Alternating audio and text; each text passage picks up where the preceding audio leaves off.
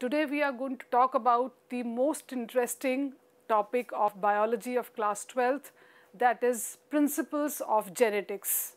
As you all know that we resemble our parents. We have certain features that are similar. Similarly, a mango tree has a seed which gives rise to a mango plantlet only. How is that possible? It is all due to transmission of characters or traits from one generation to the other and this is what genetics is all about. Genetics is the branch of biology that deals with the study of heredity and variations.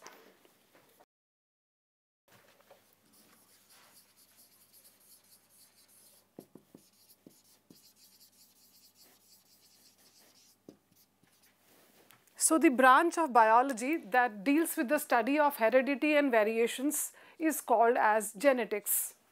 Heredity means transmission of characters from parents to next generation.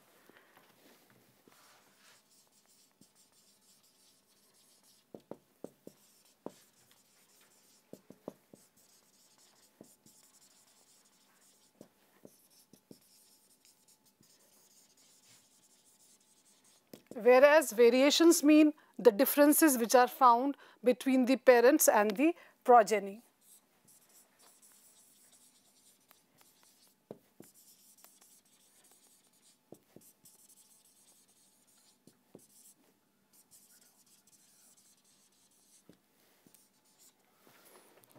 We study about the differences as well as the similarities in genetics.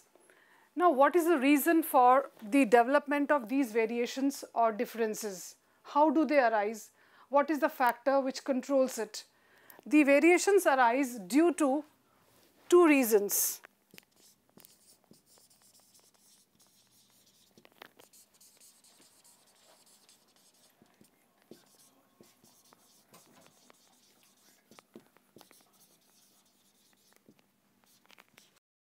There are two reasons for the differences which are found in the next generation. The first reason is mutation, that is the sudden change in the characters. And second is recombination, that is the combinations which are formed after the result of sexual reproduction.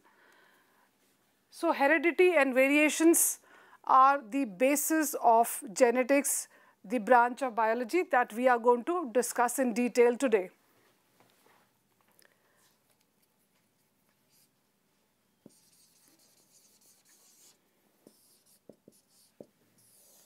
Gregor John Mendel is called as the father of genetics because he was the first one to talk about the laws of inheritance and his laws are still known as the Mendel's laws of inheritance and they are still valid. He worked on a plant called as garden pea which is biologically called as scientifically called as Pisum sativum. Now, why did Mendel choose Pisum sativum or garden pea for his experiments? What is the reason behind it? There are four reasons for choosing garden pea for his experiments.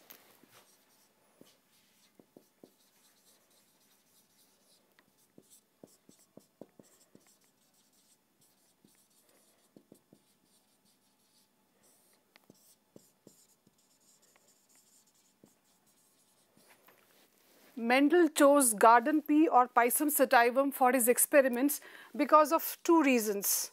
The first reason was the pea or the Pisum sativum has got very short life cycle.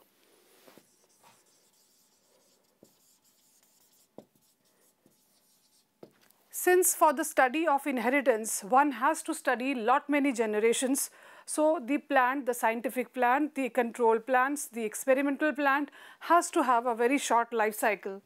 Second reason for choosing Pisum sativum or garden pea for his experiments was garden pea had many contrasting identifiable which were easily identified traits or characters. For example, this garden pea consists of some tall plants as well as some short plants. The flowers may be red, the flowers may be white, the color of the seed may be yellow or green. So, they were easily identifiable phenotypic traits, the the traits were very, very clear and very easy to study. And the third reason was it was easy to cross-pollinate.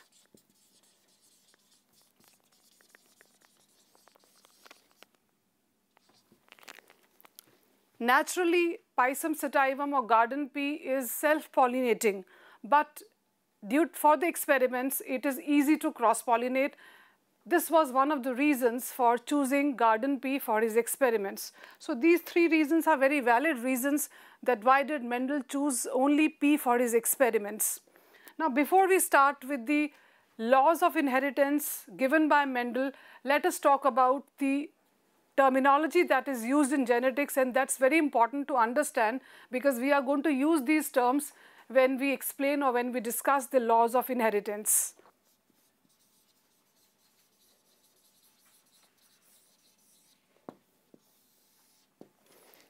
We will discuss the terms which we come across when we talk about the laws of inheritance. The first term is gene.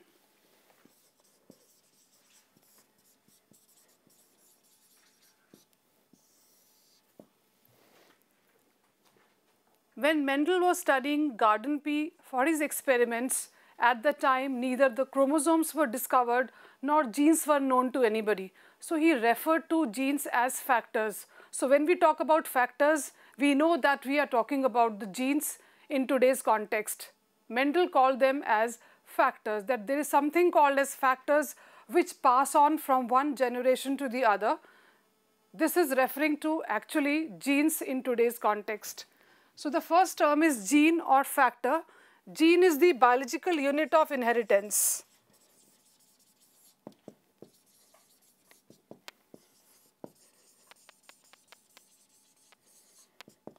And it is made up of DNA.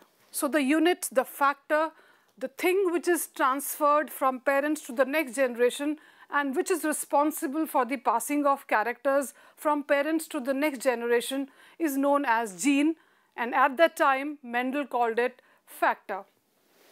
Second term is allele or allelomorph.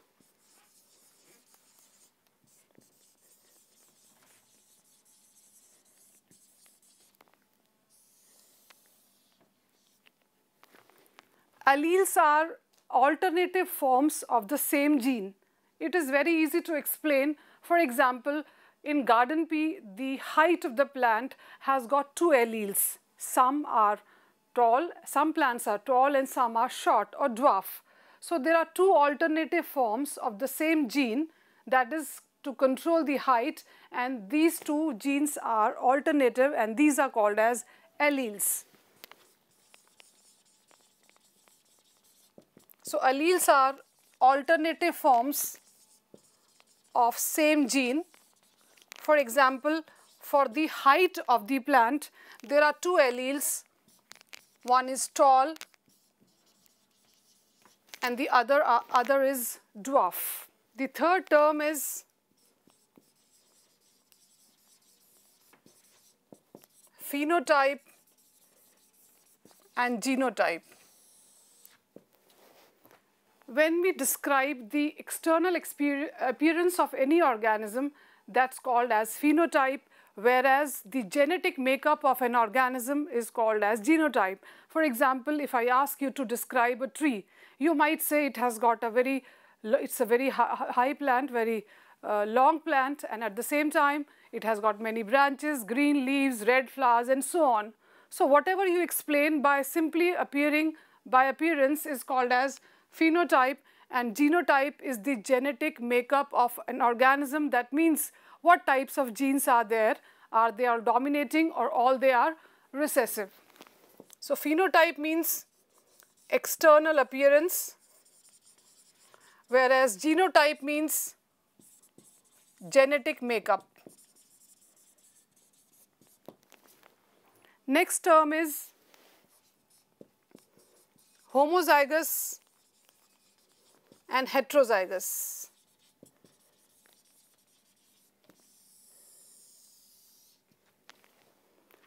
Homozygous means when same type of allele is duplicated, wherein heterozygous is when there are dissimilar alleles. I'll show you with the help of an example. The height of the plant can be tall or it can be short and the plant may, may have two alleles of same type that is capital T capital T or may have capital T small t. So, this kind of condition is called as homozygous where same allele is duplicated wherein this condition is called as heterozygous wherein the same allele is not duplicated we have dissimilar alleles or dissimilar factors or dissimilar pairs of genes. This is pure or homozygous and this one is heterozygous or hybrid. Next term is monohybrid, dihybrid and trihybrid cross.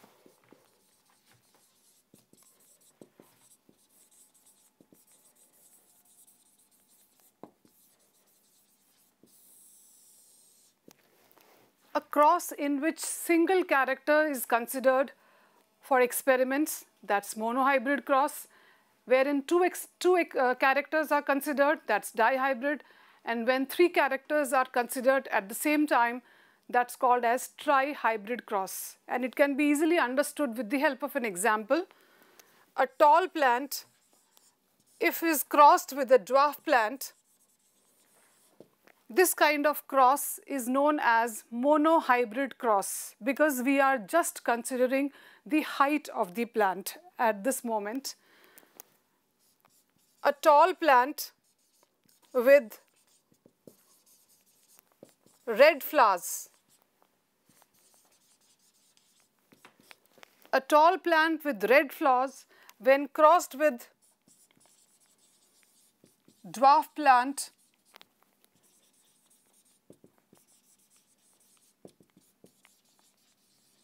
with white flowers, this is called as dihybrid cross because we are taking two characters at the same time one is the height of the plant and the other one is the color of the flower.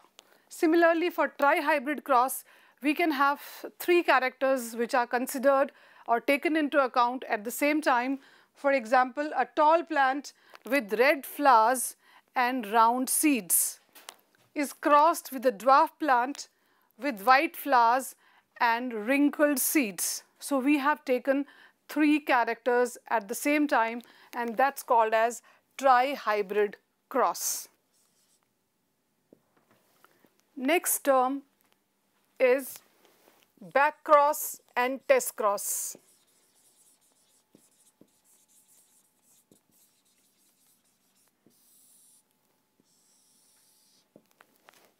Now what is back cross?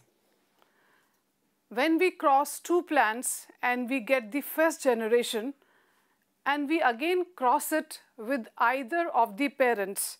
That's called as the back cross.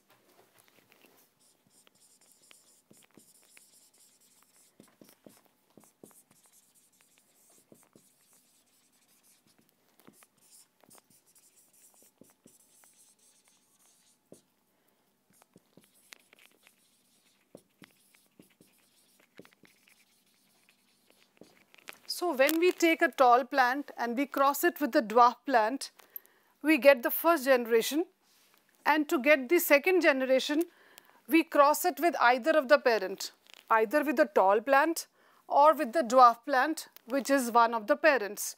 So this is called as back cross. Why is it called as back cross? Because we are using either of the parents for crossing to obtain the second generation. Test cross when the first generation, this F1 is first generation, is crossed only with the recessive parent that's called as the test cross. You can see it here.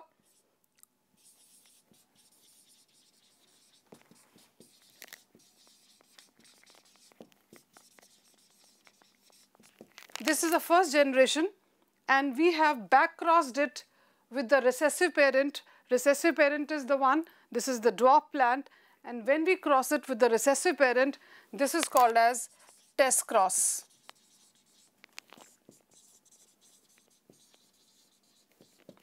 We can make a very simple statement here to understand this particular type of concept that is all back crosses are not test crosses but all test crosses are back crosses.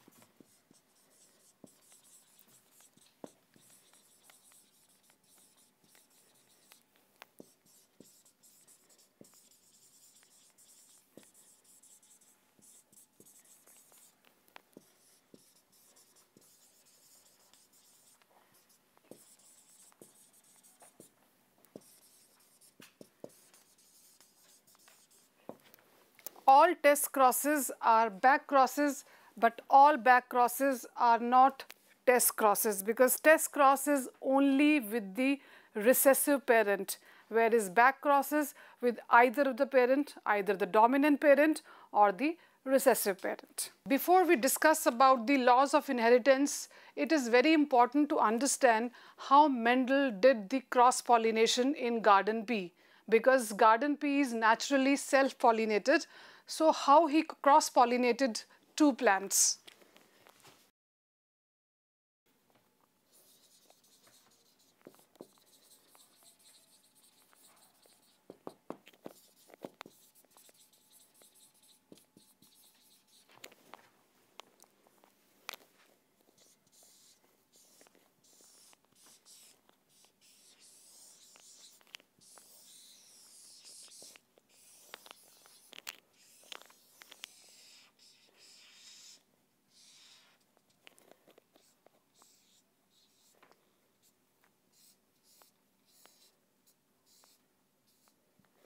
You all are familiar with the structure of flower that you have read in lower classes, whereas we know that the male part is called as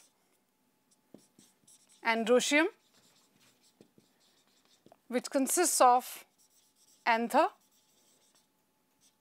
and filament, wherein the female part is gynoecium consisting of stigma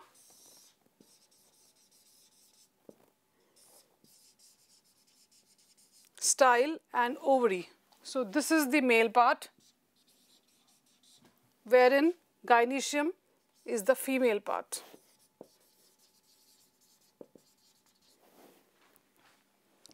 Since pea plant is a bisexual flower, bisexual flower means which has got both the parts in the same flower, both male and female in the same flower, that is androecium as well as gynoecium in the same flower.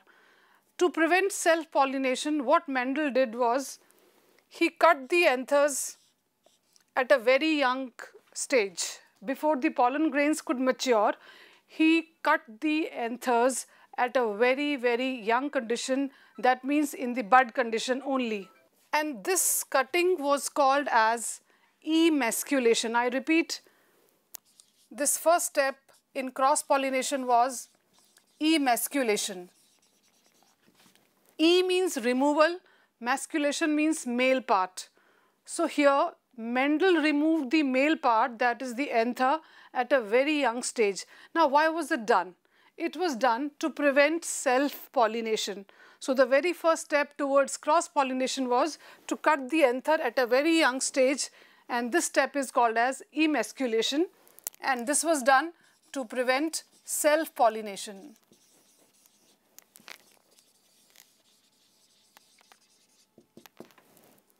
The second step was covering or bagging the emasculated flower. So the flower was covered with a poly bag and this is the second step which is called as bagging.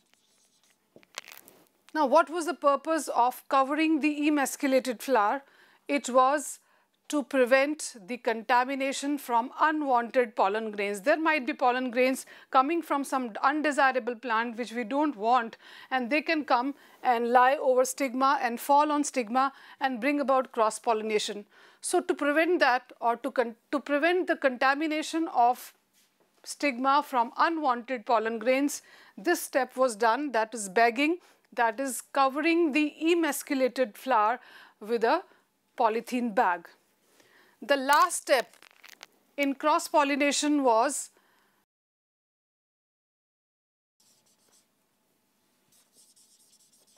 bringing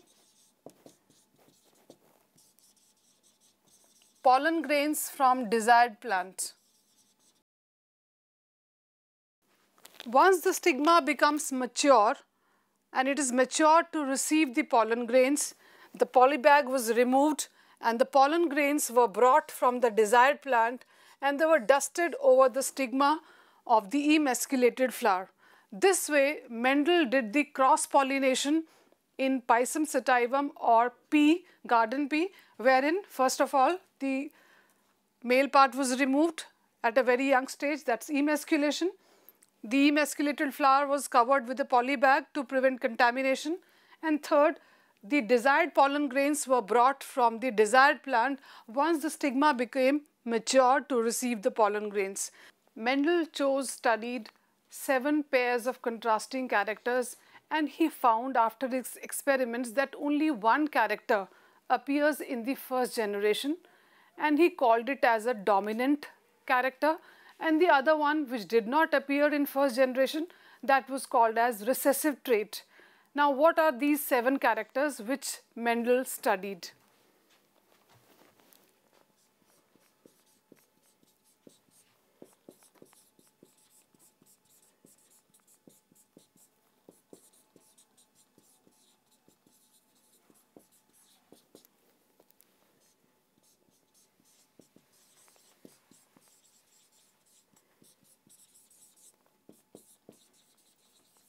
The first trait was the height of the plant wherein only tall parents or tall plants were obtained in first generation. So, this trait was called as dominating wherein the short plants did not appear in first generation and they were called as recessive. Second trait was the color of the flower.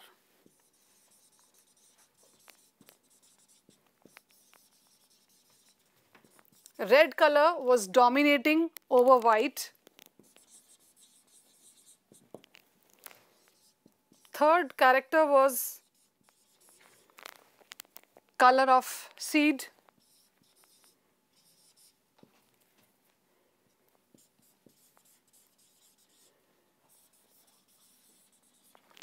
Yellow color was dominating over green.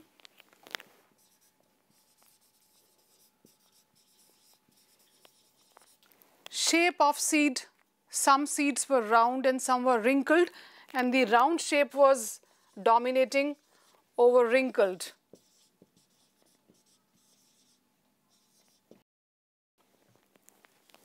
Next trait was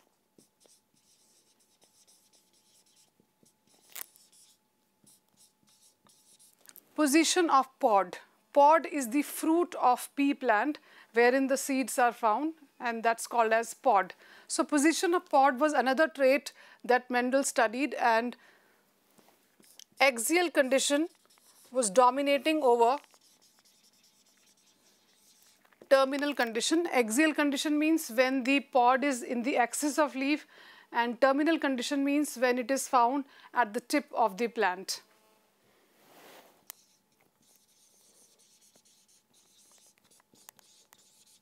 Next character was color of pod and green color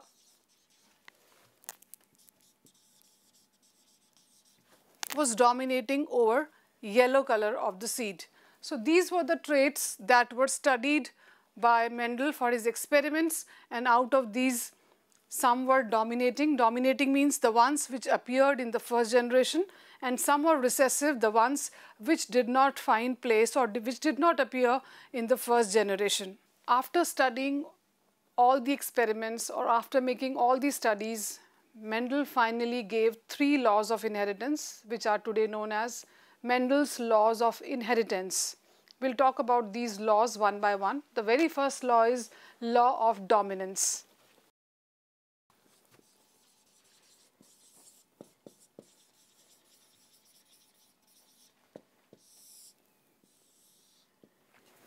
According to the law of dominance, out of two contrasting pair of characters, only one appears in the first generation and that's called as dominant trait. The other one which remains hidden or which is not expressed is called as recessive trait. We can understand this with the help of a very simple example.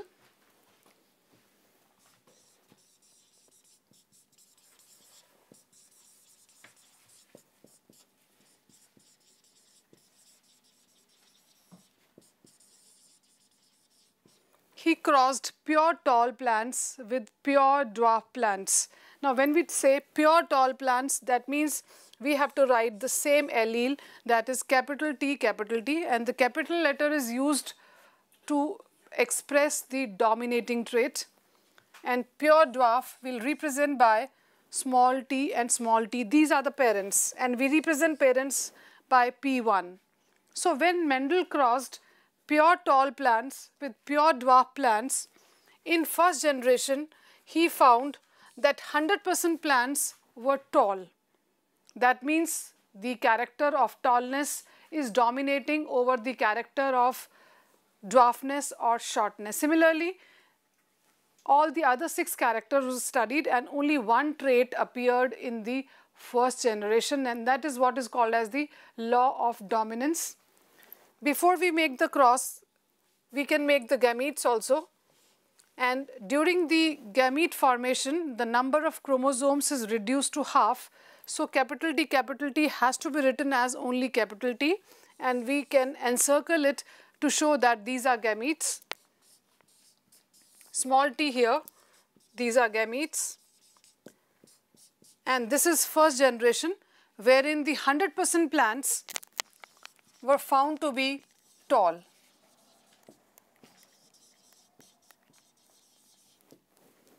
This showed that the character of tallness is dominating over the character of shortness or the dwarfness. This is what is called as the law of dominance. We can define it in this manner. Out of two contrasting pairs of characters, only one appears in the first generation and that is said to be dominating. The other one which does not show in first generation or which remains hidden or whose effect is masked or covered which is not expressed that is called as recessive trait. This is about the first law of inheritance that is law of dominance. We can take any example out of the seven traits which were shown earlier and only one trait has to be shown in the first generation because Mendel found only one trait in the first generation and that was called as dominating, the other one was called as recessive.